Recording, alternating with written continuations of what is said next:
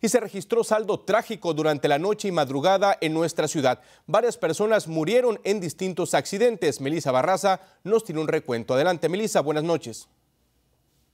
La policía y equipos de emergencias estuvieron muy ocupados durante la noche y la madrugada de hoy, debido a varios accidentes automovilísticos que dejaron como saldo a cinco personas muertas.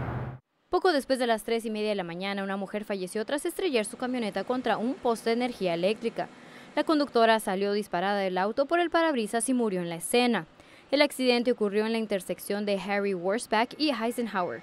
La víctima fue identificada como Doris Dimas Wisdom, de 34 años.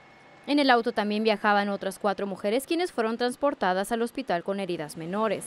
Según la policía, ninguna mujer portaba el cinturón de seguridad y dentro del vehículo encontraron envases abiertos de alcohol. Las pasajeras dijeron a la policía que previo al accidente habían salido de un bar.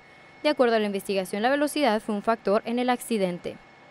El otro accidente fatal ocurrió en la intersección de Roosevelt y South Cross poco antes de las 3 de la mañana. Aparentemente, el conductor del vehículo perdió el control estrellándose contra tráfico en sentido contrario. El conductor, según de origen hispano, murió en la escena. Los otros tres ocupantes del vehículo al que golpeó fueron transportados al centro médico militar con heridas menores. Alrededor de la medianoche, dos automovilistas murieron calcinados tras estrellarse de frente en la autopista 211 y la 90. Según la investigación, uno de los conductores invadió el carril contrario provocando el impacto en el que ambos vehículos se incendiaron dejando a los ocupantes atrapados. El último accidente sucedió en la cuadra 8500 al norte de la carretera 1604. Un hombre de origen hispano murió tras estrellarse contra un poste y un tractor.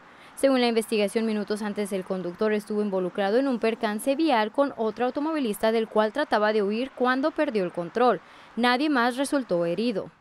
Varias de las víctimas aún no han sido identificadas y la policía continúa trabajando para obtener más detalles. Hasta aquí mi reporte, Melissa Barraza, Univisión.